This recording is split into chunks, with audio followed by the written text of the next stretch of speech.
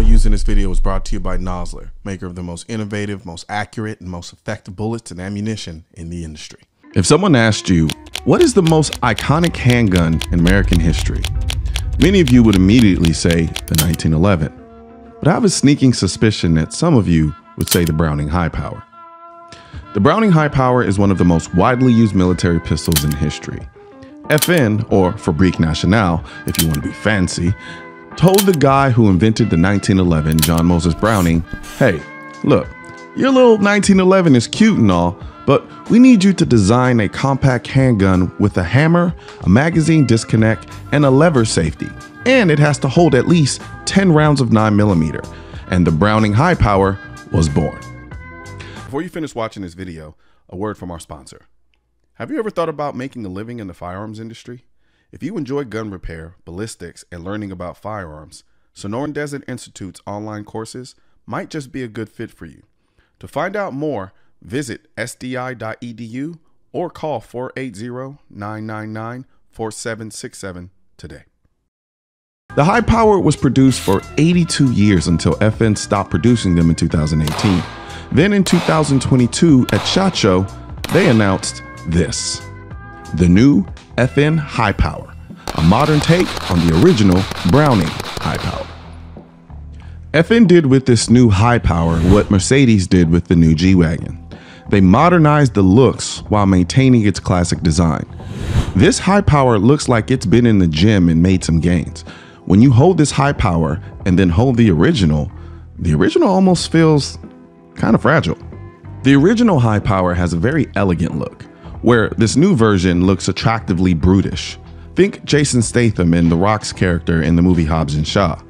The Rock would clearly pick the new version, and Jason would go for the original.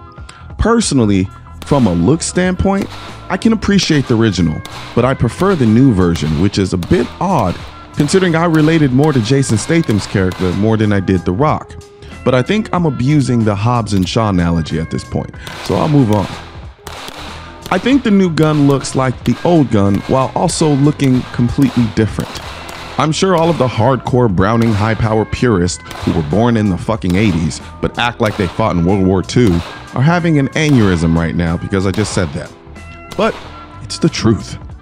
No one looks at the new gun and not think Browning high power, whether you want to admit it or not.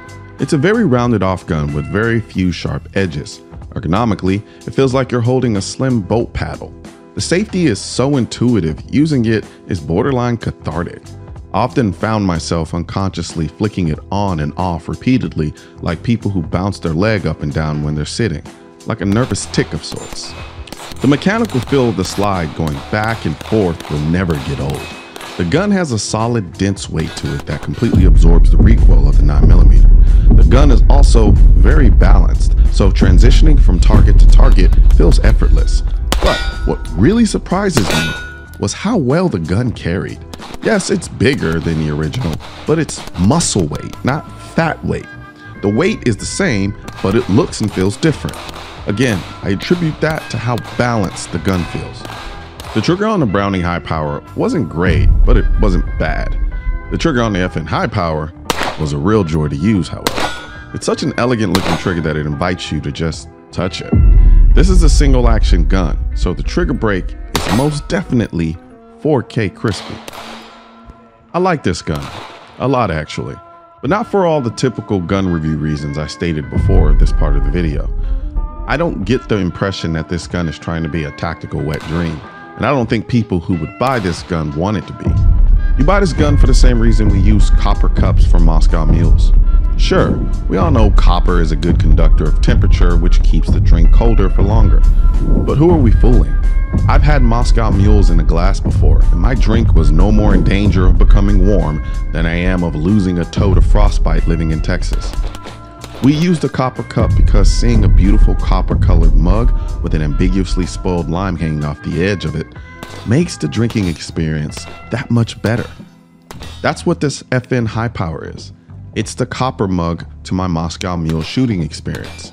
For all its age related shortcomings, the original Browning High Power was a good gun to shoot.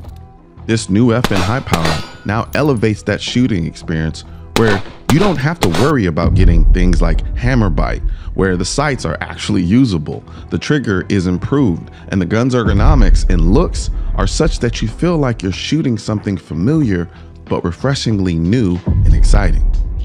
The crazy thing is, shooting the original makes me appreciate the new high power, and shooting the new high power makes me respect what the original was.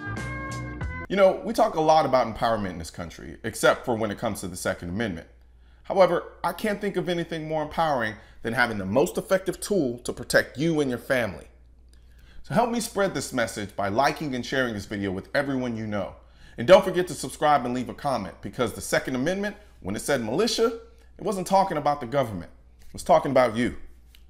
Also, if you want to know where to find the I'm the Militia shirt and merchandise, click the I'm the Militia link in the description section of this video. And don't forget to subscribe to the channel. And most importantly, make sure you hit that bell symbol.